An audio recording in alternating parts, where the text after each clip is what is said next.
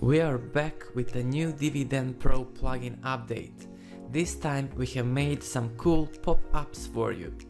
In this video I'm going to show you how these pop-ups look like and how you can use them on your website.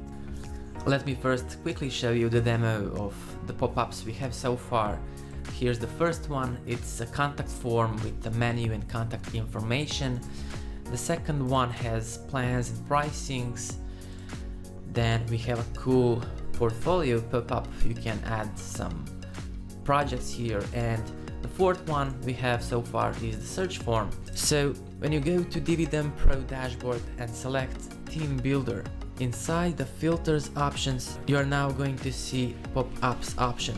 Select that and you're going to see these pop-ups I showed you the demo of just right now. The pop-up you would like to use on your website all you have to do is to click the save button or you can simply save all four of these pop-ups. Or uh, if you meanwhile add some new pop-ups you can save all of them to your library by clicking the save button. And next thing you're going to do is to click the WordPress customizer button. Toggle Divi-Den Pro settings and now you're going to see pop-up customizer. Toggle that as well by clicking on the drop-down menu, you are now going to see all these pop-ups that you previously saved.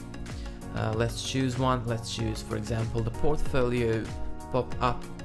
To show this pop-up across your pages on your website, make sure to select this checkbox.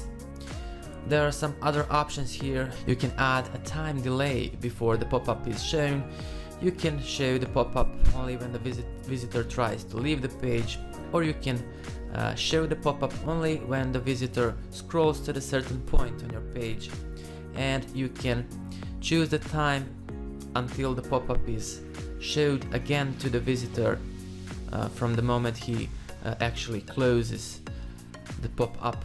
And don't forget to click this button here. Each time you change the settings this button clears the cookies on your local machine so in order to see the changes make sure to click this button here. And of course all these pop-ups are responsive as well so they perfectly work on every screen width.